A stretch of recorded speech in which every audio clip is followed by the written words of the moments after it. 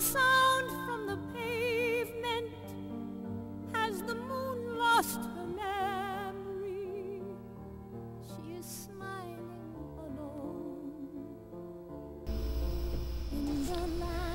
It's an ache, a helplessness, an anger.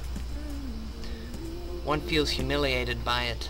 Sometimes I say to myself, steady on there, you're imagining all this stuff.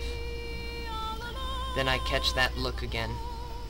Feel that edge in a remark. Catch the cold reluctance when I jump into a lap. It really doesn't seem to matter how hard I try, or how high I leap. I don't feel I'll ever be what they really want me to be. I'll never measure up, never equal. I'll just never be a dog.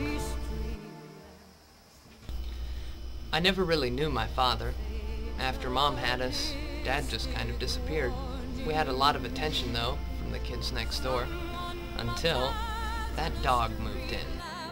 It was a dog that came between my mother and my father. The pain was so intense.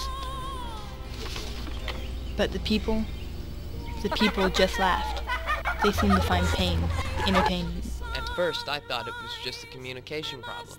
So I started barking lessons. I'd practice four, sometimes five hours a day.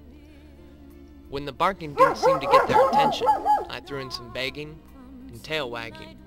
People love to see dogs wag their tails, you know. In the end, it didn't make any difference. They just laughed. Even the dogs laughed. That's when I said, enough is enough. They didn't care. Why should I care? For the first time, it occurred to me there might be something more in life than dogs and people. That was the day I turned my back on them. That was the day that set me free. It's real freedom too, you know? No one can take that from me. Never. I'll always be a cat.